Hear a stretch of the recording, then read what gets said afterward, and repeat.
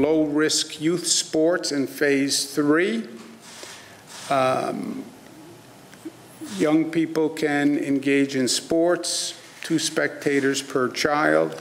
So that's another step towards return to normalcy. Good evening, I'm Allie Tui. That's a big helping of good news for children who are going stir crazy right about now at home.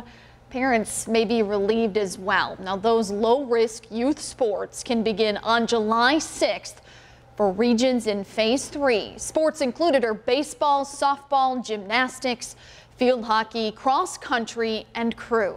7 Eyewitness News reporter Adam Unger is looking into how local sports organizations are preparing to reopen.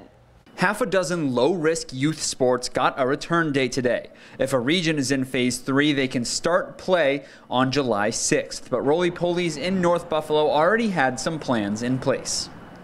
Summer camp is a-okay and we're good. Um, we're just waiting to see exactly what will be will be required of these uh, you know classes that we uh, we do in here.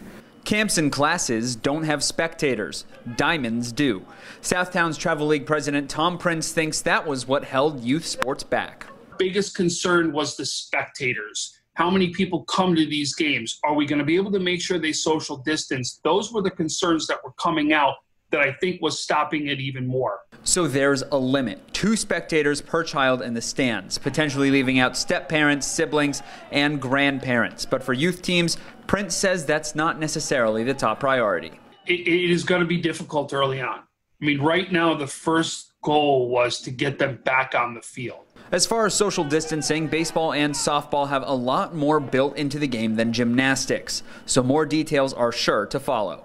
Some of our other programs are going to be a little bit behind, I think, but it's more due to um, what are the guidelines going to be regarding group sizes and things of that nature. Whether they're hitting home runs or sticking cartwheels, organizers are happy to have an answer.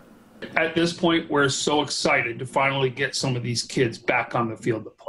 Absolutely, it's a step in the right direction. It starts giving us um, some clarity. Field hockey, cross country, and crew are the other sports expected to get the green light on July 6th. In Buffalo, Adam Unger, 7 Eyewitness News.